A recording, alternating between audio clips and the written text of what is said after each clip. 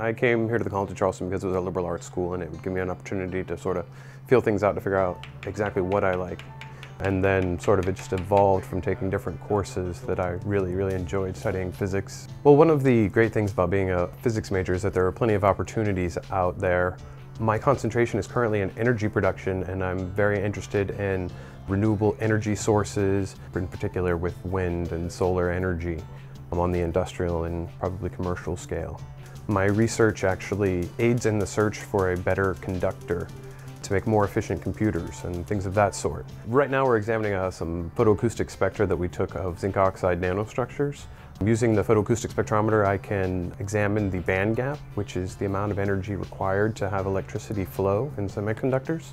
There are a lot of different courses that I've taken that apply directly to this research and to the uh, equipment itself. I think undergraduate research here at the College of Charleston is awesome. In many larger schools, especially those with more research facilities, undergraduate students aren't given as many opportunities because those places are taken by graduate students who are more experienced and have more time to commit to it.